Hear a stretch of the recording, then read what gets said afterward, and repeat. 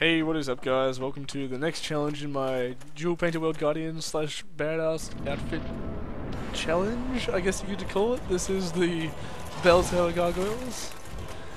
So uh, hopefully there won't be any more weapon breaks in this.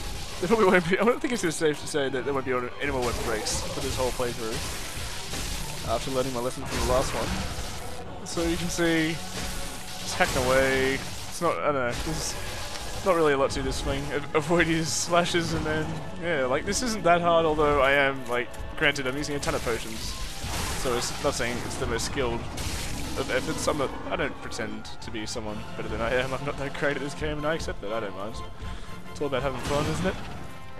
So yeah, let's just avoid his attacks. My rolls aren't the greatest, but you'll see in some later vids they'll improve over time just not even bothering to roll, just accepting that one on the chin for some reason.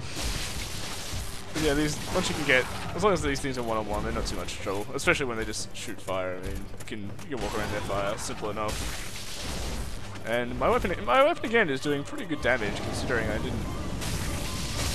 The early part of this game is not too bad. We, we might struggle in later parts. No spoilers. But uh, yeah, that was the Bell Tower Gargoyle.